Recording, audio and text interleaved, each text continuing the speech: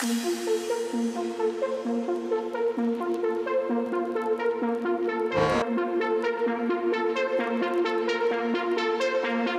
теперь то, что происходит в мире репродуктивной медицины, в мире. И здесь, конечно, э, очень значимая, мне кажется, статья, которая вышла на прошлой неделе э, в журнале Science. Э, вы знаете, что это один из известных таких и старых журналов, который посвящен науке, не только биологии, но и другим отраслям, но вот проблемы, которые обсуждаются там на фундаментальном уровне, они очень значимы, и публикация в журнале Science бывает достаточно значимой. И вот на этой неделе появилась э, статья, которая называется Exploring Early Human Embryo Development, то есть исследование развития эмбриона на ранних сроках. И статья довольно-таки известных авторов, то это Джанет Россан и Патрик Тем. Э, Джанет Россан – это врач, э, вернее биолог-исследователь, который работает, э, родилась она в Великобритании – но работает э, сейчас в Торонто, в Канаде. И э, профессор Тем – это профессор, который работает в Сиднее, этнический китаец, родившийся в свое время в Гонконге, когда Гонконг еще входил в Содружество, Британское Содружество наций. И совместно эти два автора в свое время совместно издали достаточно фундаментальное руководство в 2002 году, которое называлось «Развитие мыши». А, то есть посвященные эмбриологии мышей. И что а, пишут эти авторы вот в этой статье, которая, а, в общем-то, возможно, знаменует собой появление, ну, то есть э, фактически революцию в биологии, которая, как всегда, наступает достаточно иногда неожиданно. То есть эти авторы пишут буквально следующее – а, то, что в настоящее время эмбриология человека зашла в тупик с их точки зрения. И эта тупиковая ситуация связана с тем, что мы не получаем достаточное количество сведений, которые касаются именно развития эмбриона человека, которые позволили бы расшифровать ряд механизмов, которые возникают внутри организма женщины во время имплантации бластоциста, после имплантации бластоцисты и на этапе э, ранней плацентации. То есть они говорят о том, что достаточно хороший прогресс э, был достигнут в изучении тонких механизмов, которые управляют эмбриональным развитием и имплантацией у мыши. Мышь является такой очень значимой моделью. Но э, оказалось, когда начали сравнивать то, как развиваются эмбрионы человека и как развиваются эмбрионы мыши, то полного соответствия между тем, как идет это развитие, э, ну, какие-то есть расхождения. В частности, они говорят о том, что если взять э, эмбрион человека на пятый день эмбрионального развития, то есть это тот э, этап, на котором проводится э, подсадка эмбриона в полость матки, то у человека идет разделение на наружную трофэктодерму, эпибласт, примитивную эндодерму и э, окруженную этими слоями так называемую внутреннюю клеточную массу, ICM. Так вот, если уже к пятому дню, к аналогичному дню развития у мышиного эмбриона это разделение происходит полностью, то у эмбриона человека а, детерминированность развития разных листков еще не полностью определена. И в частности, если взять на этом этапе клетки э, трофэктодермы человека, то из нее можно вырастить э, полноценный эмбрион. То есть специализация вроде бы уже пошла, но э, если мы проводим э, эти, берем клетку у такого эмбриона, то из клетки трофэктодерма можно вырастить э, обычный нормальный эмбрион. Э, и это говорит о том, что специализация э, клеток человека и формирование вот этих листков на этих всех стадиях идет не одинаково. И они говорят, что это достаточно серьезная проблема, потому что часто бывают волны, то есть когда идет развитие эмбриона на малых сроках, там происходят волны Э, стирания и повторной уже другой записи так называемого геномного импринтинга, то есть идут своего рода эпигенетические волны, которые могут быть у человека совершенно другими, и это будет говорить о том, что э, из-за этого мы многого не можем понять. И вот они ставят так вопрос следующим образом. На сегодняшний момент имеющиеся в распоряжении эмбриологов так называемые двумерные среды э, позволяют выращивать эмбрион человека примерно до 12-дневного состояния. То есть это на ну, с учетом того, что обычно эмбрионы человека подсаживаются в полость матки на сроки 5 дней, то это 5 дней плюс 5 дней плюс еще 2 дня. И дальше в этих средах эмбрионы человека развиваться уже не могут, потому что происходит после 12 дней а, распад этих эмбрионов. Это первое. И второе, то, что они говорят, то, что мы мало того, что э, не можем изучать эмбрионы, которые э, имеют стадию, когда уже идут активные процессы имплантации и плацентации, но также и э, кроме этого существуют юридические ограничения. То есть они говорят, что некоторые юрисдикции, формулировка такая очень обтекаемая, некоторые юрисдикции позволяют исследовать эмбрионы человека, которые получаются в результате ЭКО, а, до 14 дней. Почему это идет такое ограничение 14 дней? То есть 14 дней – это срок, который соответствует последнему дню до задержки менструации. Если идет обычный менструальный цикл, то тогда овуляция происходит на 14 день цикла. В этот день происходит зачатие, и это нулевой день развития эмбриона. Соответственно, 14 день – это 28 день цикла. И э, следующий день – это уже является 15 день, то есть 4 дня 4 недели беременности плюс один день, это уже 15 день, и э, большинство так называемых юрисдикций, на которые ссылаются эти авторы, не разрешают никакие исследования с человеческими эмбрионами, которые проходят после вот этого срока. Почему? Потому что э, начиная с 15 дня развития беременности начинается развитие нервной системы у эмбриона, и поэтому по этическим соображениям э, те страны, а это далеко не все страны, которые разрешают эксперименты над плодами человека, над эмбрионами человека, а, то уже с этого срока обычно запрещаются любые совершенно эксперименты а, с этими а, эмбрионами, человеческими эмбрионами, потому что эмбрион воспринимается с точки зрения этической и легальной как человеческий организм. Вот. Но они пишут, что из-за того, что идут вот это вот 14-дневное ограничение юрисдикции, мы получаем очень серьезные проблемы, потому что мы не можем изучить процессы, которые значимы для того, чтобы можно было в дальнейшем решать проблемы. Они ссылаются на проблемы со здоровьем будущих детей, потому что мы просто не знаем, что реально происходит в полости матки на биохимическом и генетическом уровне э, с эмбрионами, вот данной стадии у человека.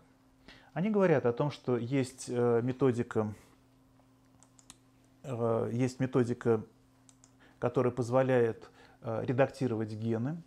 Она называется CRIS-SP-Cas.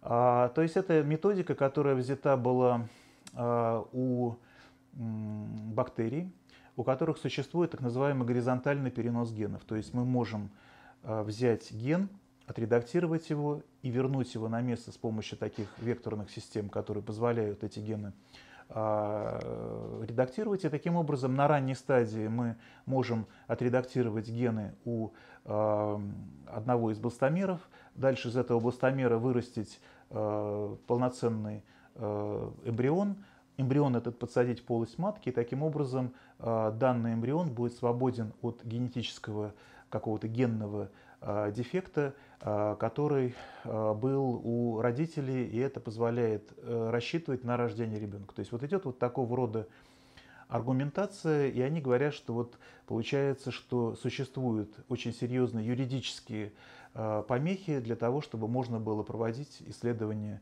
э, над эмбрионами на этом сроке.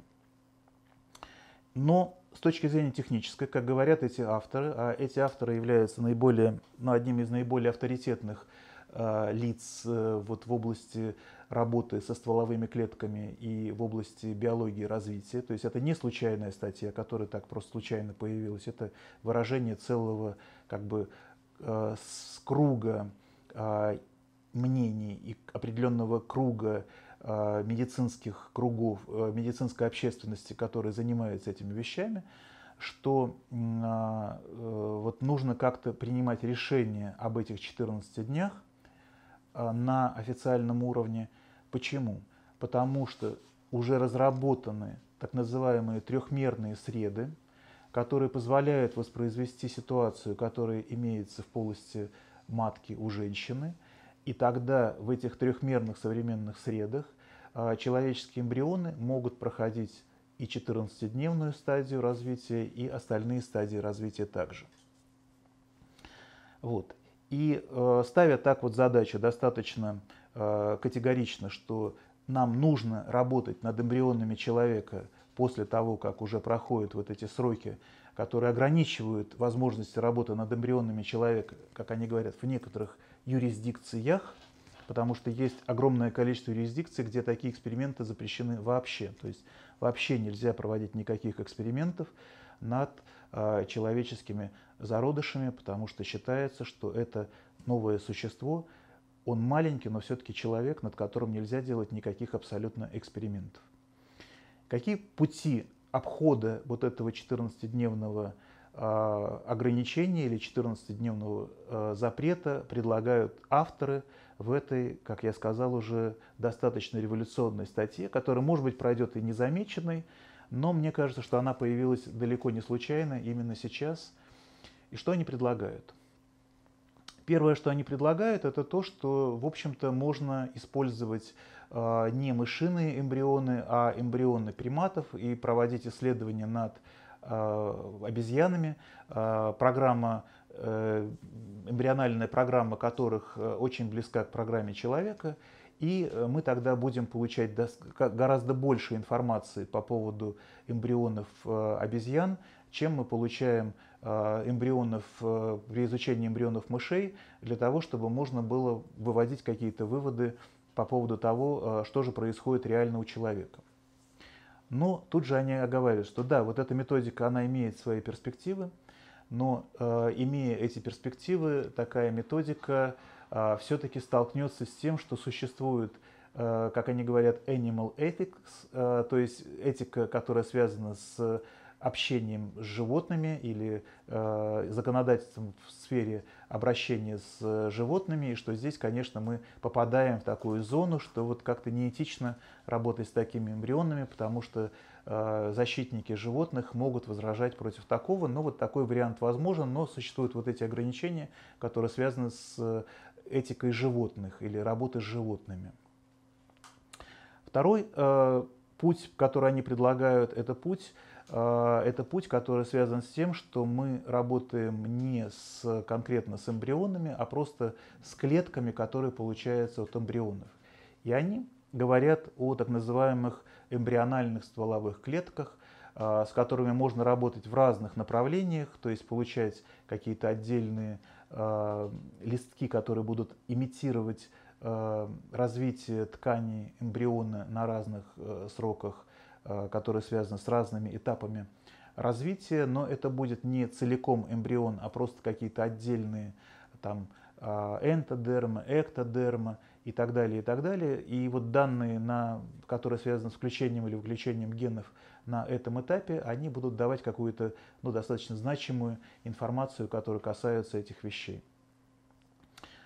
Вот. Но э, тут же оговариваются и говорят, что все равно тогда мы не будем получать комплексного э, описания тех процессов, которые происходят, потому что те процессы, которые сейчас достаточно хорошо изучены на животных, в частности на мышиных эмбрионах, говорят о том, что различные листки, различные закладки различных органов и систем, они друг с другом э, всегда взаимодействуют. И когда мы вычленяем какую-то уже ткань, находящуюся на этапе дифференцировки, и выводим ее из того контекста, который существует при э, развитии э, внутри организма эмбриона, мы будем получать не совсем достоверную информацию. Полноту информации мы получать здесь не можем.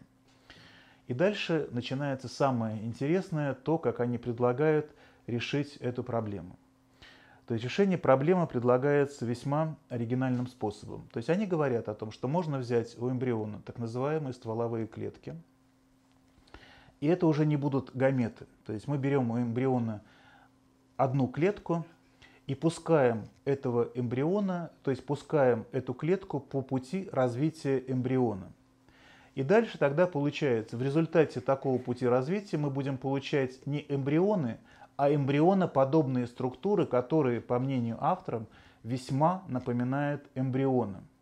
И тогда, как пишут эти авторы, если мы будем рассматривать вот эти эмбрионоподобные структуры не как человеческие эмбрионы, а как некие а, экспериментальные объекты, над которыми можно проводить вот эти все эксперименты на всех практически стадиях развития внутриутробного плода, то тогда, в общем-то, здесь вообще оказывается так, что мы можем договориться, что предмет э, этики и э, юридические аспекты, которые связаны с экспериментами над человеческими эмбрионами, здесь будут неприложимы.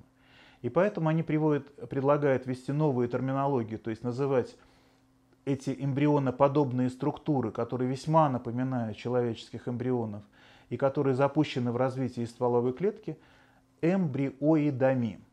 И тогда вот такая игра в слова, что мы называем это эмбриоидами, приведет к тому, что можно тогда совершенно спокойно открыть все пути для того, чтобы можно было изучать э, эти структуры, эмбриоид-подобные структуры на разных этапах развития, включая и выключая гены, делая различные нокауты, применяя методику генного, ну, нокаута генов, когда мы выключаем какой-то ген и смотрим, что происходит, делать э, редактирование генов а, с помощью вот этой методики CRISPR а, и так далее. То есть мы можем тогда делать любые.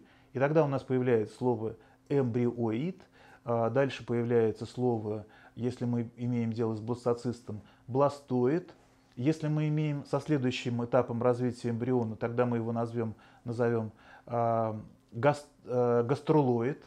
Вот. Ну и так дальше, если продолжать такой аналог, то тогда уже, если этот э, организм будет продолжать развиваться дальше, э, но они называют это не организмом, а некая entity, то есть некая сущность, э, которая очень похожа на эмбриоид, мы тогда можем получить на, на следующем этапе фитоида, и на следующем этапе мы можем получить гоминоида, э, над которым тоже можно проводить любые эксперимента. То есть вот такая игра в слова э, абсолютно на полном серьезе. То есть вы можете взять последний журнал Science и почитать, что существуют такие предложения, которые касаются того, что путем того, что э, вместо работы с клетками эмбриона, которые получены в результате оплодотворения сперматозоида и яйцеклетки, мы у эмбриона возьмем стволовую клетку и направим ее по пути развития опять по пути развития целого эмбриона, если мы назовем эту структуру эмбриоид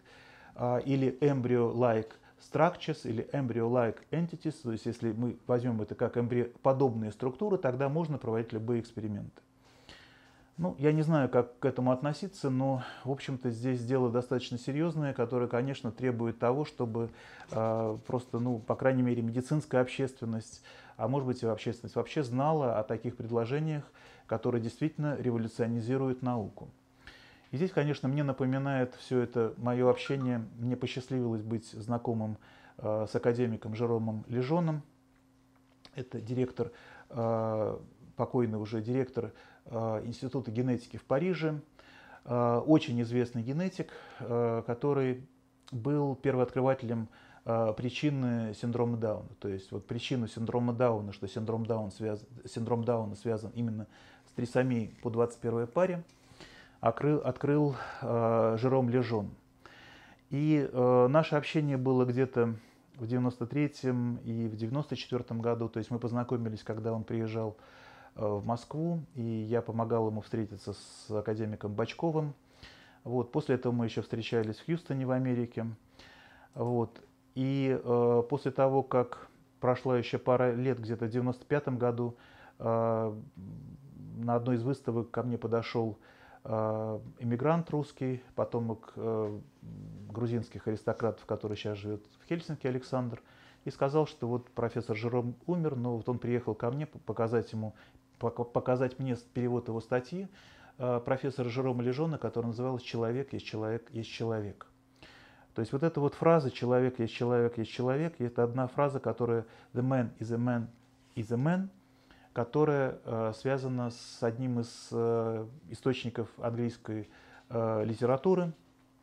И там шла речь о том, что были замороженные эмбрионы, родители их развелись, и что нужно было делать в Англии с этими эмбрионами – или подсадить их в матку женщинам для того, чтобы эти будущие маленькие человечки родились, либо их уничтожить, потому что отцы в это время развелись, будущие отцы развелись с матерями, и э, вот э, от, ну, получалась такая очень сложная этическая проблема. И профессор Жером Лежон, он считал, что человек на этом этапе, вот на, начиная с самых ранних этапов развития, является э, уже полноценным организмом, который развивается. И а, этот полноценный организм нужно уважать. И если нам нужно проводить какие-то сложные эксперименты или же заниматься изучением этих структур, то мы должны все-таки находить какие-то другие пути для того, чтобы не проводить подобного рода экспериментов. Потому что а, кто знает, в общем-то, может быть, дальше можно будет захотеть сделать такую гоминоидную структуру, над которой тоже можно производить какие-то эксперименты, редактировать гены вот это, конечно, с моей точки зрения, а, исключительно значимый для всего общества факт.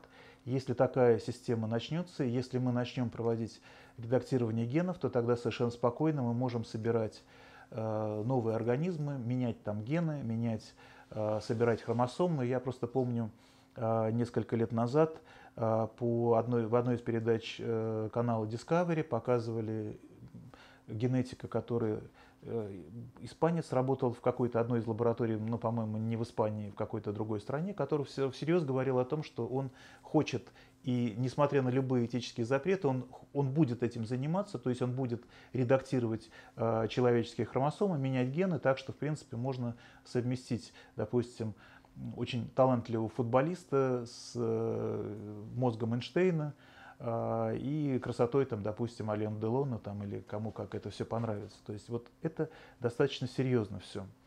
И то, что сейчас происходит, вот эта публикация в журнале Science мне очень напомнила роман э, Герберта Уэллса «Пища богов» э, «The Food of the Gods».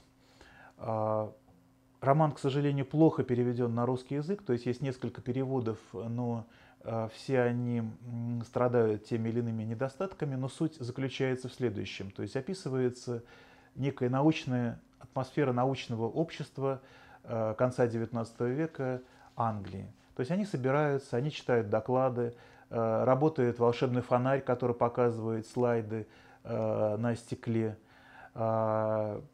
люди э, набирают какие-то пакетики с едой и пока гаснет свет, э, успешно поглощают эту еду. И вот профессор э, Редвуд, биолог, который занимается динамикой развития, показывает, как идет развитие, что в начале развития вот медленно, медленно, медленно, медленно, а потом вдруг случается скачок, и после этого скачка опять начинается более замедленное развитие. Этот скачок профессор Редвуд, Редвуд объяснял тем, что в питательной среде, в которой развивается организм, появляются некие вещества, которые резко стимулируют рост.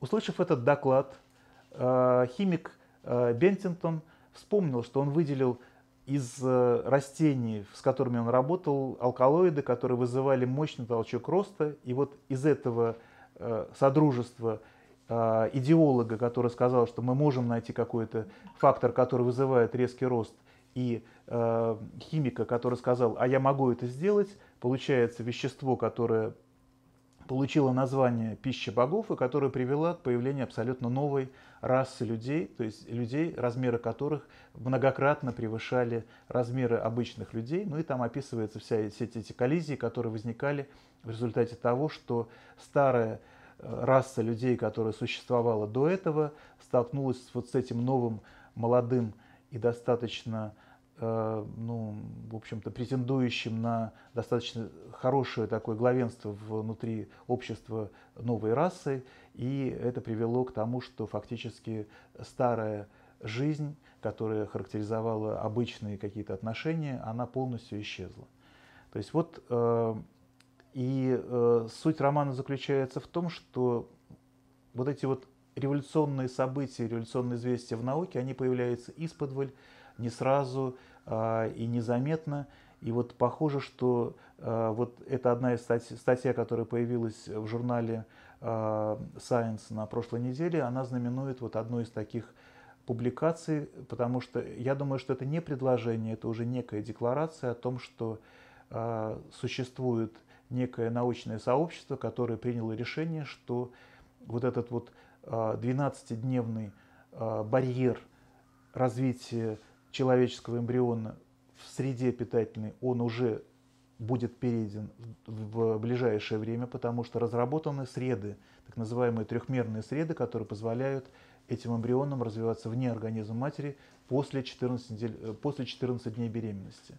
И нужно преодолеть этот 14-дневный барьер некоторых юрисдикций, который обязательно будет преодолен так или иначе, в том числе с помощью вот этой игры слова. И поэтому наше общество должно быть готово к тому, что вот э, подобного рода, действительно, э, если подобного рода эксперименты начнутся, то тогда мы получим действительно совершенно новых, э, новые методики, э, которые приведут к, возможно, рождению людей с совершенно новыми, доселе э, неизвестными качествами. По крайней мере, конечно, вот, э, вот такие опасения возникают.